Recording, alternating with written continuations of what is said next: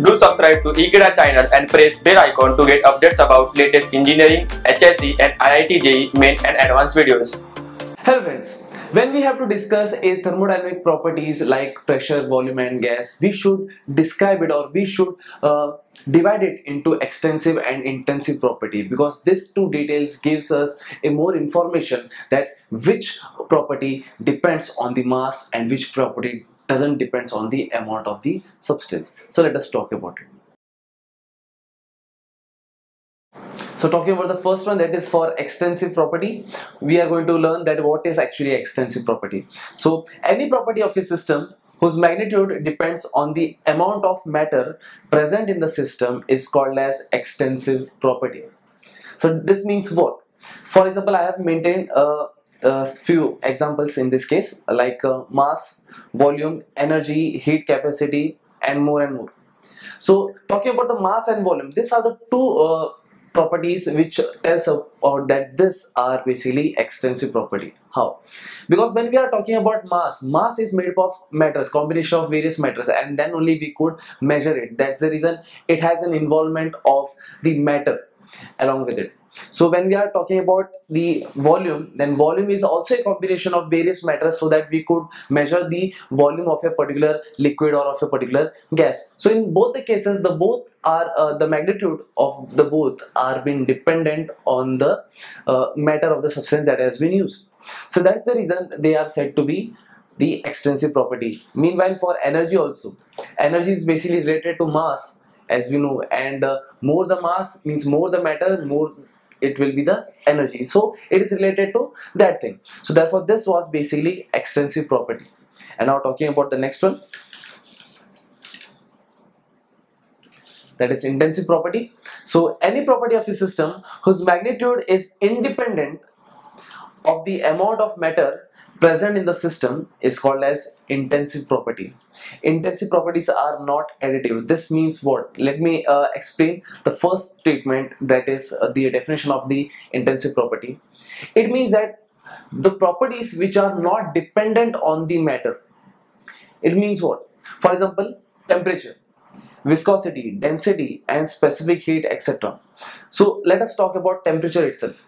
So when we know that uh, the water's boiling point is basically 100 degrees Celsius. So if we take 100 milliliter of water again the boiling point or again the temperature of that particular uh, water will be 100 degrees Celsius itself as well as even though if we take 50 ml of water even though if we have taken 50 ml of water the boiling point or the temperature for uh, that uh, water will be the same that is 100 degrees celsius. So it means that even though if you change the mass or even though if you uh, change the quantity or the amount of substance this uh, uh quantity uh, or this property like temperature it won't change and that doesn't depends on the particular matter while talking about the viscosity and density also this also are the two uh, properties which are not dependent on the matter of the substance and hence they are said to be intensive properties. So these were the two classifications uh, where we could divide that which properties are basic